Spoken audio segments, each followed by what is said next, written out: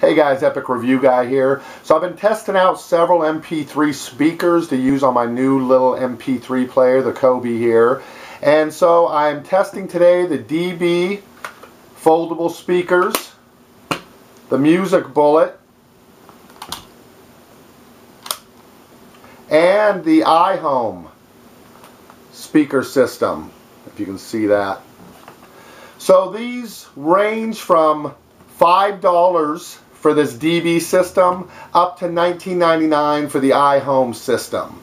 So that's kind of the price range you're going to be looking at. Now I'm going to get this one out of the way quick because I'm going to recommend you don't get this. This is the DB fold away home system. It has a volume on top and it takes four AAA batteries. But I plugged this thing in. I listened to it for about a minute. I was disappointed at the sound range. It didn't have very much volume.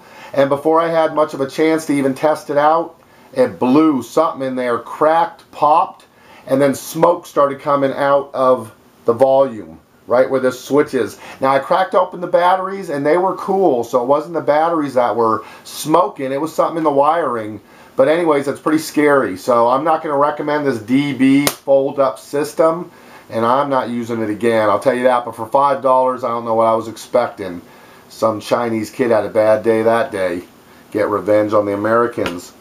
All right, so the next one I looked at was the Music Bullet, which I really like this Music Bullet. Now, the nice thing about this has a couple nice features. One is this pop-up and fold-away feature. It's called the Super Bass. But this doesn't have a ton of bass, but the volume's not bad on it. It actually is pretty loud, and the sound clarity is not bad. It comes with its own cord. Now this you can use to plug it into the speakers. You cord right here to charge it on the system. So it comes with the cord that charges off of a USB and then this is the one that goes into the speakers. But the thing I like about this is there's no batteries to put in this. It doesn't take any batteries. It's got an internal battery that you just charge off of your computer. And it lasts pretty long, surprisingly long I found. So I don't know if over time that would probably wear down. But I was pretty happy with the music volume.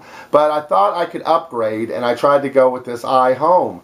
Now the iHome, I would say that the music quality is better and it is louder. There's no volume on the actual system itself. So it's just going to be the volume off of your MP3 player. The cord hides down here kind of on the bottom and pops out. So that's nice. It can tuck away pretty good. This system is just about too big to be super portable, but I could fit it in my jacket pocket and take it with me. But uh, I would say the sound quality and the um, sound volume wasn't better enough over the Music Bullet that it would be worth hauling something this big because the Music Bullet really fits in your pocket nice. You know, this can just fit in a jacket pocket easy and it's light. Where this takes three AA batteries, plus it's fairly heavy anyways. So it's alright for maybe carrying into the bathroom or hauling around to a different room in the house, but I don't know if I'd want to take this one to work with me every day. But this is the iHome but still a good speaker system and like I said I was fairly happy with it for $19.99 now the music bullet on the other hand you can get for about $9.99 I'm going to put links to both of these underneath where you can get these and a lot of other speaker systems too so you have your chance to look around and browse.